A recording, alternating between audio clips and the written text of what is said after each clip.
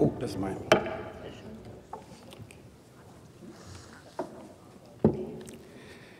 Sehr geehrte Frau Präsidentin, liebe Kolleginnen und Kollegen, meine sehr verehrten Damen und Herren, wir wollen Aufstieg durch Bildung. Diese Leitidee teilen wir alle in diesem Hohen Haus.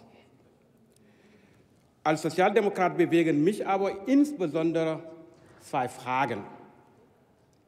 Lösen wir das Versprechen auf Bildungsaufstieg tatsächlich ein? Und besteht echte Chancengleichheit in unserem Bildungswesen?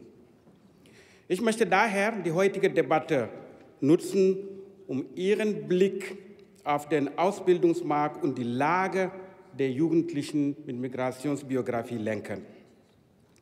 Schülerinnen und Schüler mit Migrationsbiografie sind längst in der Aufholjagd und Bildungsabschlüsse.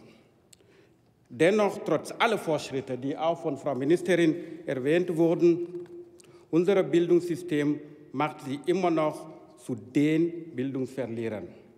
Und das muss uns nachdenklich stimmen.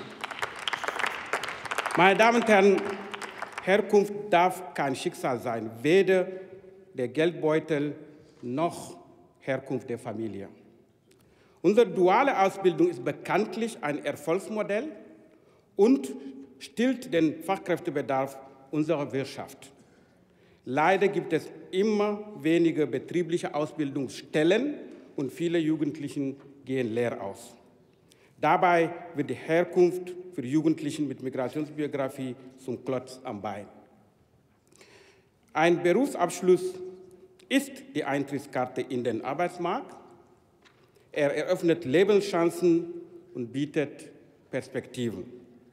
Diese Chancen und Perspektiven sind aber leider nicht allen Kindern in Deutschland in die Wiege gelegt.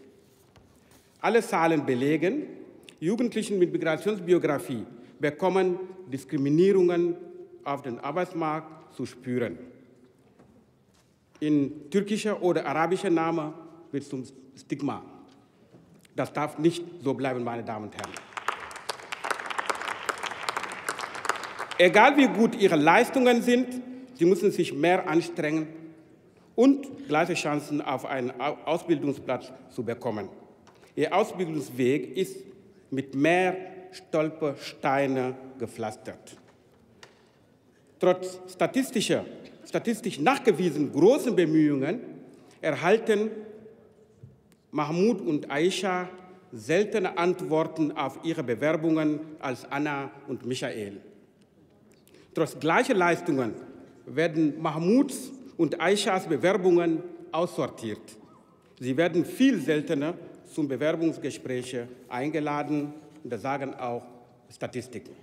Sie ergattern also seltener einen begehrten dualen Ausbildungsplatz. Meine Damen und Herren, das dürfen wir nicht hinnehmen. In diesem Land brauchen wir jedes Talent, denn jeder und jede Jugendliche ist unsere so dringend gebrauchte Fachkraft von morgen. Sage und schreibe, nur etwa 15 Prozent der Unternehmen in Deutschland bilden Jugendlichen mit Migrationsbiografie aus. Ich meine, die Wirtschaft ist in der Pflicht, gute Ausbildungsplätze in allen, für alle Menschen zu schaffen, für alle Jugendlichen zu schaffen.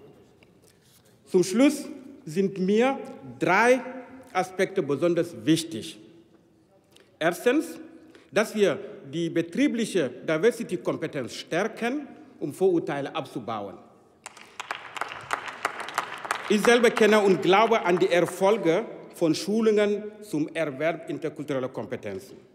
Zweitens müssen wir neue Wege gehen, warum nicht auch anonymisierte Bewerbungs- Verfahren auf dem Ausbildungsmarkt. Zum Dritten, wir müssen, wir müssen die Jugendlichen stärken.